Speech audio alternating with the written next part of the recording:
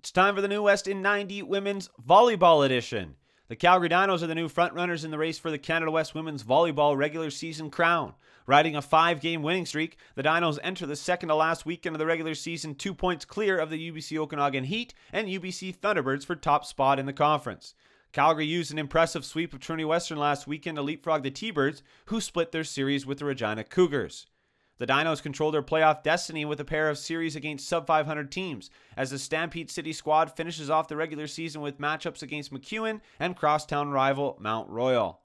Circling back to the Cougars, Regina has enjoyed a strong second semester going 7 and 3 to start 2018.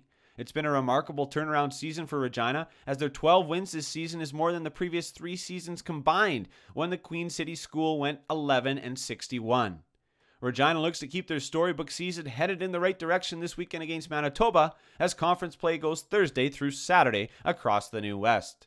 Michelle Ager is the subject of this week's Athlete Spotlight. The rookie left side has already etched her name in the Canada West record book.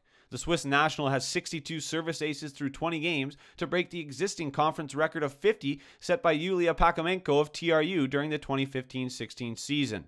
Ager and the Bobcats currently sit in seventh place and are looking to take another step closer to the playoffs this weekend against MRU. You can watch every women's volleyball game by tuning into Canada West TV.